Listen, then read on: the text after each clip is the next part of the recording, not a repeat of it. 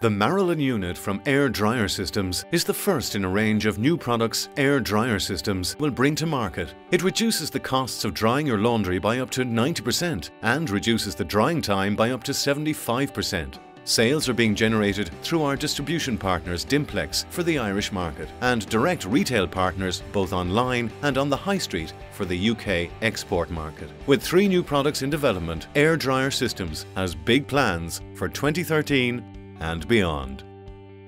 Keelvar is a spin-out from UCC that specialises in auction design and tailoring of bidding mechanisms that communicate cost efficiencies in large and complex tenders. Keelvar's unique software system allows bidders to communicate opportunities for cost savings across desirable combinations of lots within a tender. The software then computes the optimal overall outcome that delivers the best value for money given a richer expression of cost saving opportunities among small, medium and large enterprises.